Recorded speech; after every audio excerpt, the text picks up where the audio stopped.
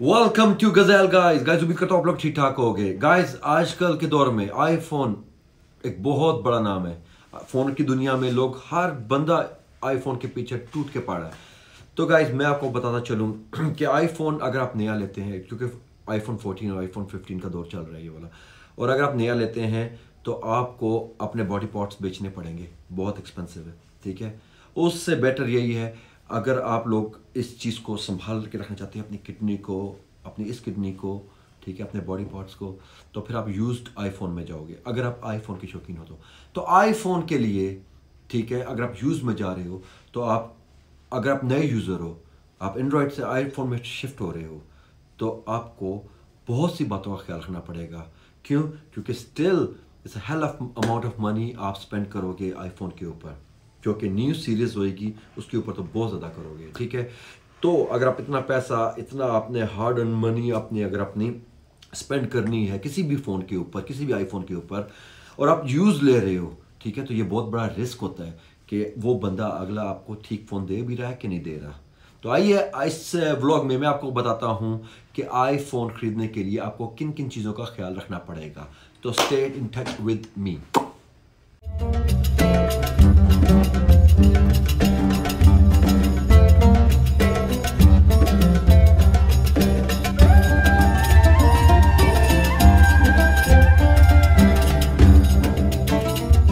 guys जब अगर market में जाओगे आईफोन यूज़ लेने के लिए, या फिर आपके पास सेकंड ऑप्शन क्या है?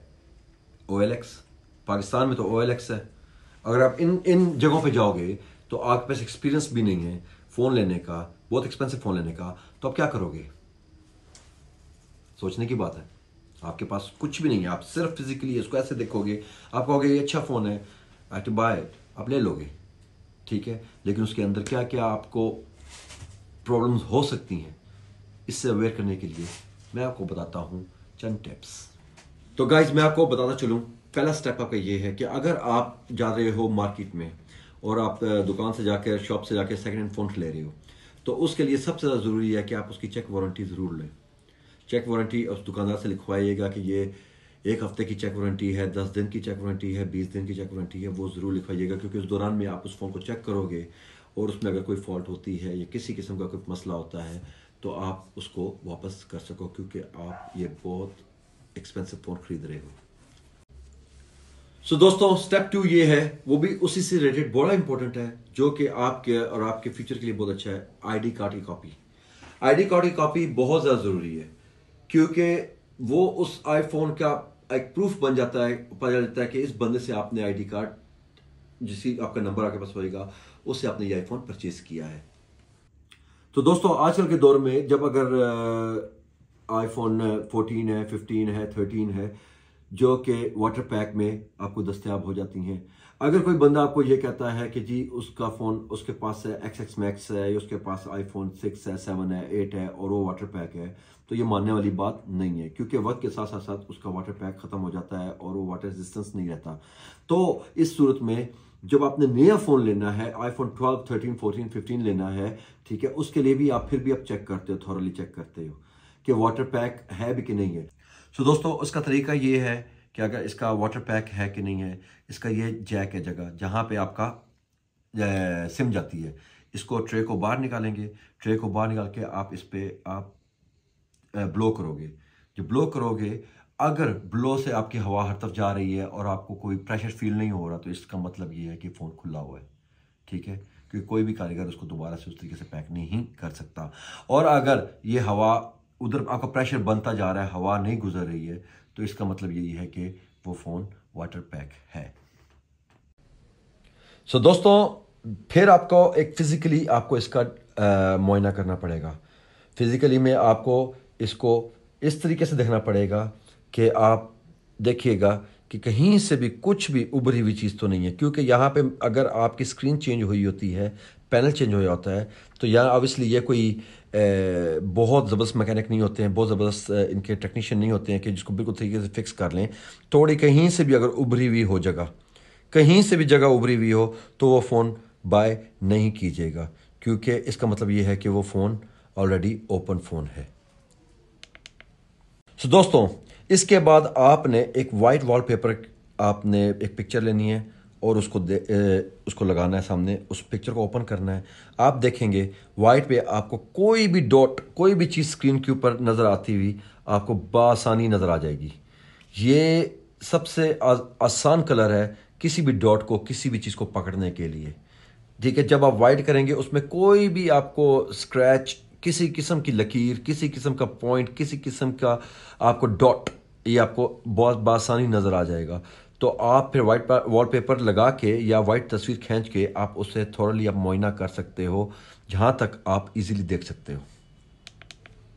नेक्स्ट है गाइज़ मैं आपको एक ऐसे टूल का ज़िक्र करूँगा आपका टूल का नाम बताऊँगा जो कि आपको बहुत ज़्यादा कारामद होगा। तो so, दोस्तों ये एक टूल है जो इंटरनेट टूल है। ये कोई भी न्यू बंदा हो जिसको आईफोन का नहीं पता हो वो भी ये फ़ोन ये टूल फ्री इंस्टॉल कर सकता है। थ्री यू टूल्स ये अपने डेस्कटॉप पे इंस्टॉल कर लीजिएगा, ये फ्री है, ये आप डेस्कटॉप को अपने साथ कंप्यूटर को लैपटॉप लैपटॉप को फोर्स आप अपने साथ ले जाइएगा। और जब वो आपको फ़ोन मिले, आप उसको फिज़िकली आपको कनेक्ट करना पड़ेगा लाइटिंग केबल्स के साथ, ठीक है? जब कनेक्ट होएगा तो आप ऐसा इंटरफेरेंस मिलेगा। ये इसमें आपको फ़ोन की सारी डिटेल वो आपको मिल जाएगी, जो कि आपको मे बी वो सेलर आपसे छुपा भी रहा हो तो। इसमें आपको बताया कौन से रीजन का है, किस जगह का है वारंटी इसकी है या एक्सपायर हो चुकी है, ठीक है? इसकी बैटरी एक्चुअल बैटरी इसकी क्या है? डिटेल क्या है? ठीक है? और अगर हम लोग इसके परफॉर्मा पे जाते हैं, देखें तो हर चीज़ नॉर्मल नॉर्मल नॉर्मल है। ये आईफोन एक्स है। IPhone X normal normal normal normal चलता आ रहा है, ठीक है? यहाँ पे आके दे, देखिएगा, ये चेंज्ड ये चेंज हुई है। इस पर डेट भी लिखी हुई है कि किस वक्त ये ये बैटरी चेंज हुई है, इसकी बैटरी चेंज हुई है और इसका रेयर कैमरा जो था वो चेंज होया हुआ है, ठीक है? क्योंकि बिल्कुल हमें पता है ये चेंज हुआ हुआ है इसका तो इस इस गैजेट ने भी इसको अप्रूव कर दिया है। हालाँकि अगर इस पर मैं दूसरा कोई फ़ोन नया फ़ोन लगाऊँगा तो ये सब नॉर्मल नॉर्मल लिखा हुआ आएगा।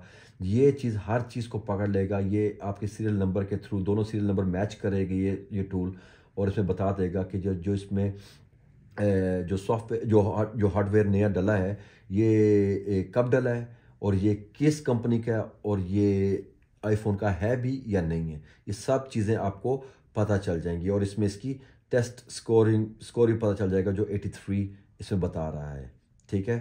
तो गाइज़ ये बहुत काम का टूल है, ठीक है? इसका नाम मैं फिर से लूँ थ्री यू टूल्स ये अगर आप अपने डेस्कटॉप पे कर लेते हैं अपने लैपटॉप्स पे कर लेते हैं।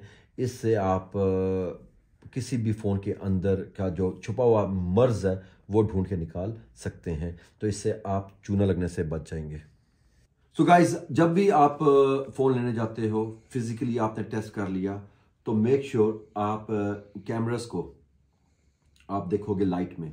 आप ऐसे गौर से कैमरा को जब भी देखोगे, आपको अगर इसके लेंस के अंदर दस पार्टिकल्स नज़र आते हैं ठीक है? तो इसका मतलब ये होगा कि आपका कैमरा ये फ़ोन जो है, ये खुला हुआ है। ये ओपन है।